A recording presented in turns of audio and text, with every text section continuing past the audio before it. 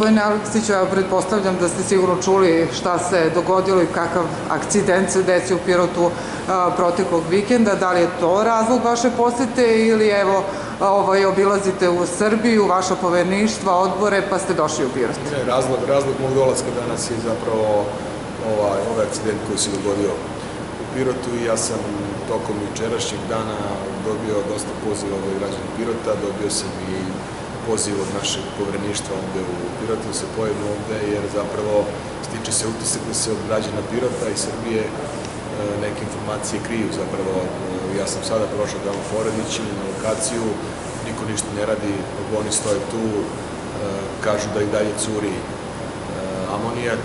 Ja sam se čuo sa gradonačelnikom dolazeći ovde, tražio sam od njega informacije, on mi rekao da oni postupaju u skladu sa nekakvim upustvima koje su dobili i RP i ti koji su nadležni državi da se bave tim narednim situacijama se bave sada da kako da ovaj, reše taj problem curenja amonika koji dalje.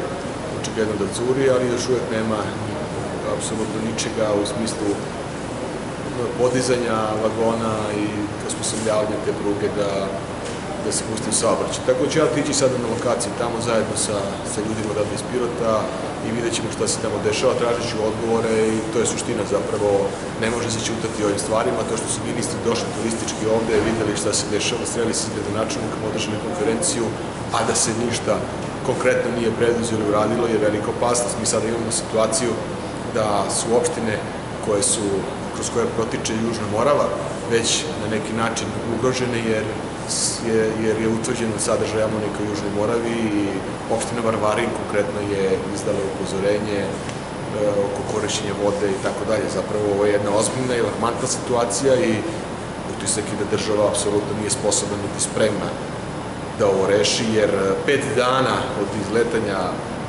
ovog voza, odnosno tih vagona sa opasnim materijama, to se ništa nije uradilo. Država je sve što je uradila, stavila je policiju okolo da to obezbeđuje.